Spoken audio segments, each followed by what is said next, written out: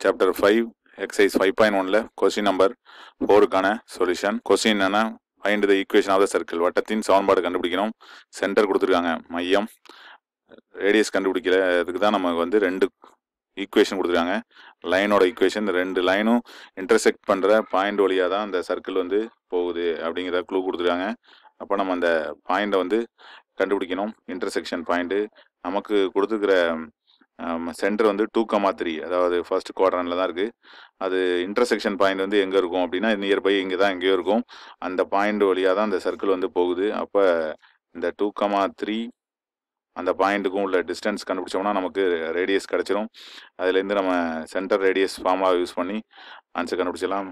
What is a centre radius formula for the equation of the circle அப்படின்னா x minus x one the whole square plus y minus y one the whole square equal to r square இதை தான் நம்ம use பண்ண போகிறோம் அப்போது இந்த point கண்டுபிடிக்கணும். எது இன்டர்செக்ஷன் பாயிண்ட்டு அதுக்கு நம்ம இதை ரெண்டு ஈக்குவேஷனையும் சால்வ் பண்ண போகிறோம் சால்வ் பண்ணி வர பாயிண்ட் எடுத்துக்கிட்டு நம்ம எப்படி வேணாலும் கண்டுபிடிக்கலாம். ஃபஸ்ட்டு ரெண்டு ஈக்குவேஷன் என்னென்ன கொடுத்துருக்காங்க அப்படின்னா three x minus two y minus one அப்படின்னு கொஸ்டினில் இருக்குது அதை நம்ம ஈக்குவல் டு ஒன்னாக மாற்றி அளிக்கும் this is equation number one அடுத்தது four x plus y equal to minus twenty seven இருக்குது ஈக்குவல்ட்டுக்கு அப்புறம் அனுப்பினோம்னா ப்ளஸ் டுவெண்ட்டி செவன் இப்போ டூ ரெண்டு ஈக்குவேஷனை சால்வ் பண்ணணும். எக்ஸ் ஒய்யை எலிமினேஷன் பண்ணி கண்டுபிடிக்க போகிறோம் ஒய்யில் வந்து ஒன் ஒய் இருக்குது அங்கே டூ ஒய் இருக்குது அதனால் ஃபஸ்ட்டு செகண்ட் ஈக்குவேஷனை நம்ம டூவால் மல்டிப்ளை பண்ண போகிறோம் டூவால் மல்டிப்ளை பண்ணால் eight x plus two y two into twenty seven fifty four அப்படின்னு கிடைக்குது. ஃபஸ்ட் ஈக்குவேஷனை அப்படியே எழுதிக்கலாம்.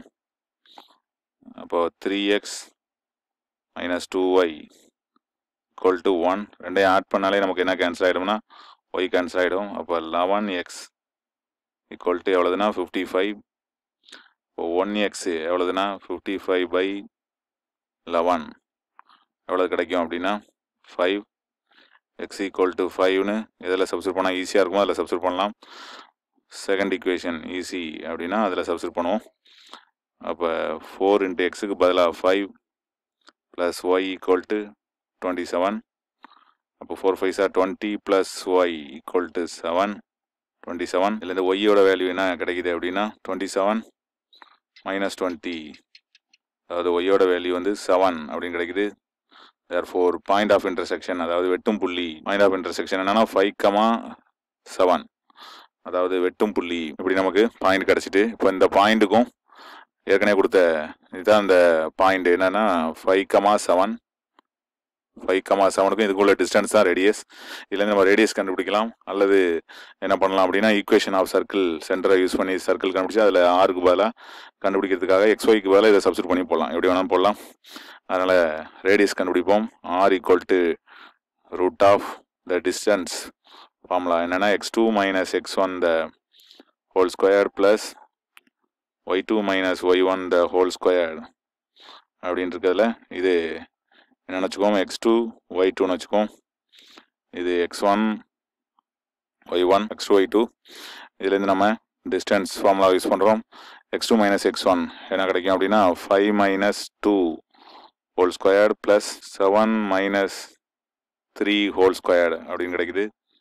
ஃபைவ் மைனஸ் டூ எவ்வளோதுன்னா த்ரீ ஸ்கொயர்டு செவன் மைனஸ் த்ரீனா ஃபோர் ஸ்கொயர்டு த்ரீ ஸ்கொயர்டு எவ்வளோதுன்னா நைன் ஃபோர் ஸ்கொயர்டு சிக்ஸ்டீன் டோட்டலாக ஆட் பண்ணால் எவ்வளோதுன்னா டுவெண்ட்டி ஃபைவ் அப்போ டுவெண்ட்டி ஃபைவ் ரூட் எடுத்தால் ஃபைவ்னு கிடைக்குது. அப்போ ஆரோட வேல்யூ ஃபைவ் ரேடியஸ் ஃபைவ் கிடச்சிட்டு சென்டர் கிடச்சிட்டு அதாவது r equal to five centre கொஸ்டின்லேயே கொடுத்துட்டாங்க. என்னென்னா டூ காமா த்ரீன்னு அப்போ அதில் யூஸ் பண்ணி ஈக்குவேஷன் ஆஃப் சர்க்கிள் ஏற்கனவே சொன்ன மாதிரி நம்ம x minus x one whole square y minus y one whole ஸ்கொயரை யூஸ் பண்ணி நம்ம ஆன்சர் எழுத வேண்டியதான் வட்டத்தின் சமன்பாடு என்னென்னா formula x minus x one ஏற்கனவே ஃபார்முலா எழுதிட்டோம். அதனால் டேரெக்டாக சப்ஸ்டியூட் பண்ணிடுவோம். இது எக்ஸ் ஒன் இது ஒய் ஒன் இப்போ எக்ஸ் மைனஸ் எக்ஸ் ஒன்னா என்ன கிடைக்கும்? X minus two the whole square plus y minus y one எவ்வளோதுன்னா three இந்த whole square equal to r எவ்வளோது five square அப்போ இதை எக்ஸ்பேண்ட் பண்ணோம்னா நமக்கு தேவையான ஆன்சர் கிடைக்கும். எக்ஸ்பேண்ட் பண்ணோம்னா x squared minus four x plus four plus y squared minus six y plus nine equal to எவ்வளோதுன்னா twenty five அப்படின்னு கிடைக்குது. இப்போ எக்ஸ் ஸ்கொயர்டு அடுத்தது நம்ம ஒய் ஸ்கொயர் எழுதுகிறோம் அடுத்தது ஃபோர் எக்ஸ் அடுத்தது y term minus six y அடுத்தது ஃபோரும் நைன் எவ்வளோதுன்னா தேர்ட்டீன் ஈக்குவல்ட்டுக்கு அப்புறம் இருக்கிற டுவெண்ட்டி ஃபைவ் இந்த பக்கம் வந்தால் minus twenty five equal to zero கிடைக்குது. இதை நம்ம